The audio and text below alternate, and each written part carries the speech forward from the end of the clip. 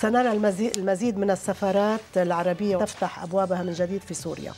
أعلنت سفارة المملكة العربية السعودية بدمشق إعادة افتتاح أعمالها رسميا في سوريا دعما وتعزيزا للعلاقات الثنائية بين البلدين.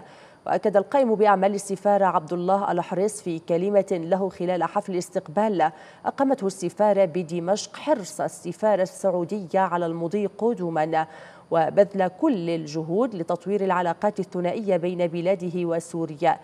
ستكون سوريا خلال الأشهر القادمة أمام مشهد دبلوماسي جديد وذلك من خلال إعادة فتح جميع السفارات والقنصليات العربية والأجنبية على الأراضي السورية.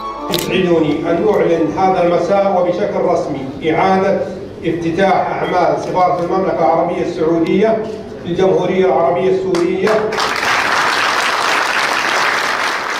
وسنشهد عودة افتتاح كل السفارات العربية والأجنبية في العاصمة دمشق وبدون استثناء. حضرت مجموعة من النجوم في سوريا حفل استقبال نظمته سفارة المملكة العربية السعودية في دمشق لمناسبة إعادة افتتاح أعمالها رسميا في سوريا أمس الاثنين.